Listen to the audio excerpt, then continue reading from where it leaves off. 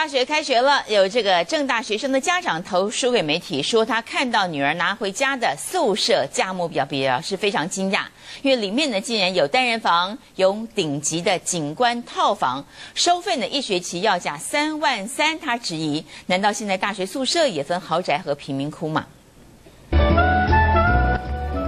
美景，青山绿水，这可不是哪个景观饭店，而是正大学生宿舍。有部分单人顶级景观套房，打开窗就能看到一零一景美溪，但只有五平大，一学期就要价三万三千一百五，比美景观的普通房贵上一千块。嗯，你要去看景观的话，上楼也可以看得到，就是没有什么必要去刻意选那个，因为你平常应该不会刻意的去看。会想要住宿舍，是因为家里经济上有问题，才会想要来住，不然我们要花花更多时间去打工。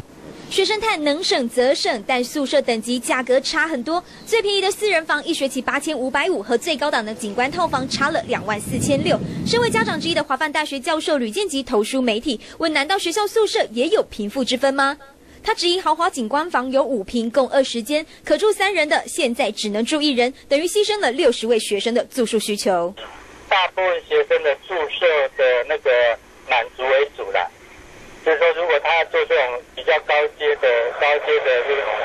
这种套房设备的话，然后还是要考虑到说，其他的有些没有抽抽中宿舍的这些学生，他们到底的想法是怎么样？家长之一，宿舍分级形同分豪宅区跟贫民区，两栋相邻的宿舍，新旧之差，收费就差了一万八。正大校方回应，景观套房的价格是自治会订立，只有二十间，比例很低，但一学期三万三，考验学生经济能力。学校批裁员，把选宿舍搞成挑饭店一样，引爆争议。中央新闻林东明、双玉敏台北采访报道。